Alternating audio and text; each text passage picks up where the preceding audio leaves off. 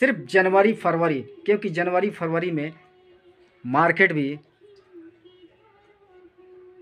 Pendulum की तरह घूमता रहेगा दोस्तों।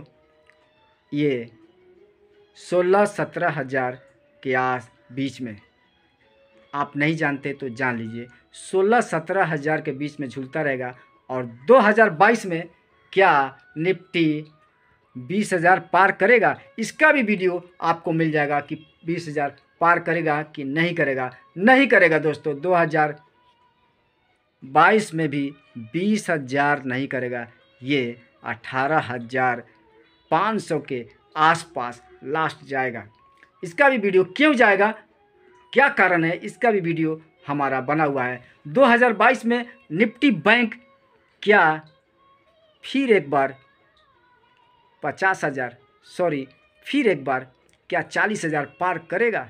इसका भी वीडियो हमारा बना हुआ दोस्तों।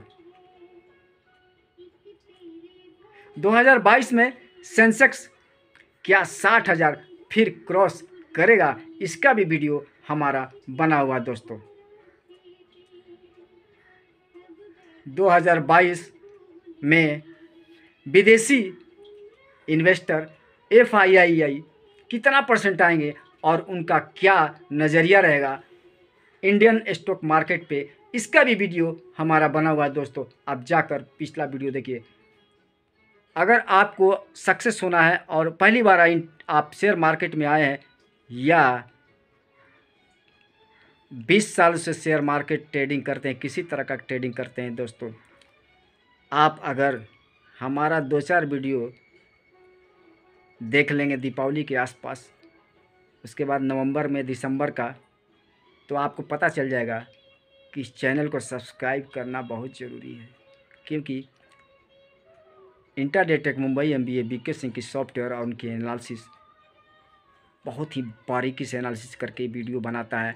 और ये वीडियो जिसने देख लिया एक बार एक बार फॉलो कर लिया सब्सक्राइब कर लिया तो बेल घंटी ज़रूर दबाता है। इसलिए कि 24 घंटा में हम कभी भी कहते हैं, बेच दो, खरीद दो। और इसी, यही कारण है कि हमने 2000 परसेंट का कंपाउंडिंग प्रॉफिट दिला चुका है। और मेरा टारगेट है पाँच हज़ार परसेंट मतलब कि आपको एक रुपया का पाँच सौ रुपये बनाने का 2022 में वो कैसे बनेगा? जबकि निफ्टी बीस हज़ार भी नहीं जाने वाला है और बैंक, निफ्टी बैंक चालीस हज़ार, पचास हज़ार भी नहीं जाने वाला है और सेंसे सेंसेक्स साठ हज़ार भी नहीं जाने वाला है दोस्तों। ये बात